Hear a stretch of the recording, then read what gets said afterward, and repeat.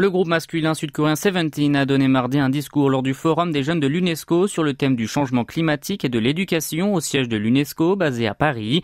Il s'agit d'une première pour un artiste de K-pop. Les 13 garçons souhaité adresser un message d'espoir aux jeunes du monde entier et les encourager à surmonter les difficultés en confessant leurs propres histoires de manière sincère. Lors de son arrivée sur scène, le boys band connu notamment pour ses dons destinés aux adolescents dans le besoin a été acclamé par l'auditoire présent dans la salle.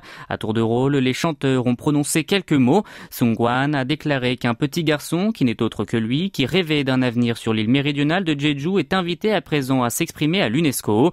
Uzi, pour sa part, a avoué que lui et ses camarades n'ont jamais été frustrés car ils étaient trop jeunes pour l'être.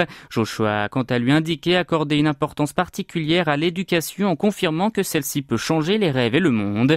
L'atmosphère de l'événement était tellement chaude qu'elle rappelait une ambiance de salle de concert. Le site d'inscription, qui a fonctionné selon le principe de premier arrivé, premier servi, a vu affluer environ 3600 personnes alors que 550 places seulement étaient disponibles. Loa, une fan de Seventeen, a déclaré que son groupe préféré était vraiment passionné vu son spectacle et qu'il savait bien s'exprimer face à un public. Elle a aussi ajouté qu'il a délivré un message positif et optimiste. Seventeen est certes le premier groupe à s'être exprimé au siège de l'UNESCO, mais pas le pionnier des discours devant des organisations internationales. BTS, mais aussi deux girls bands Blackpink et Espa sont déjà montés sur scène. La raison pour laquelle ces institutions invitent de plus en plus de stars de K-pop et selon les analystes, qu'elles représentent les voix des jeunes du monde entier et constituent l'avant-garde de la diplomatie culturelle.